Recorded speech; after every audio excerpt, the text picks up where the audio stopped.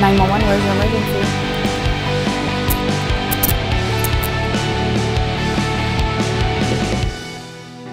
My dad was a police officer. Uh, as a marshal of Cobb County, Georgia. And so kind of want to grow up and be like dad since I was three years old. I have a long list of law enforcement officers in my family and kind of grew up in that environment and sought it out because it's a good career. I wanted to help people. I was at a crossroads in the military where I was thinking about either going career military or getting out. I knew I wanted to surround myself with people who shared the same values as me. I found myself being drawn to law enforcement. My dad's uh, been a police officer for almost 39 years now. I thought about, you know, going into PR or something with sports marketing and then all of a sudden it came full circle back to being a police officer and I saw all the bad things that were happening in the world and you just want to do something better. Once upon a time was a small town, now it's very progressive.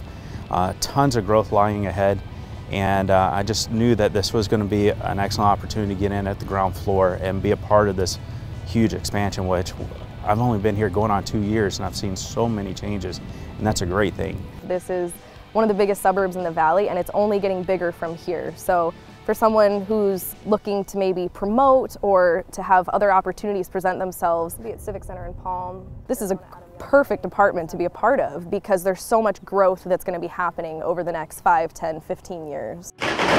The training opportunities are abundant. I've found that, you know, even working amongst other agencies, when I speak about our training and, and the opportunities that we have as officers, they're very surprised as the amount of training that we get here at Gilbert. I knew that there were certain agencies in the Valley that I wanted to apply to and that I didn't want to apply to, and Gilbert was absolutely number one on my list. Gilbert PD has become my extended family, and that's really nice.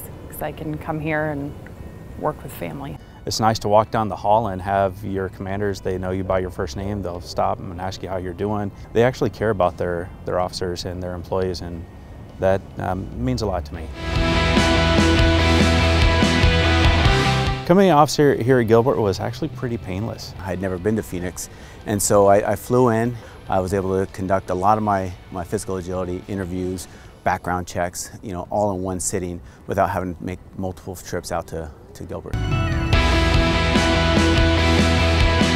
If you really want to help people, you can't go wrong in this field. I mean, you're going to be out there on the forefront saving people if you're an officer and behind the scenes even as a dispatcher you are essentially helping to save people. You should be coming around the corner now. So I think if that is something you want to do with your life then you should definitely consider law enforcement hurry up and join. Stop procrastinating, get your paperwork together.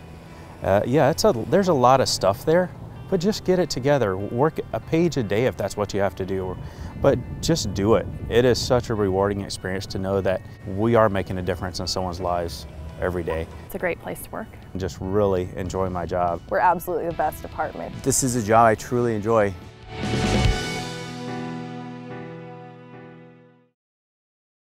Hi, I'm Mayor John Lewis. Are you sad that this video is over? Subscribe to our YouTube channel and you will never be sad again. Ever.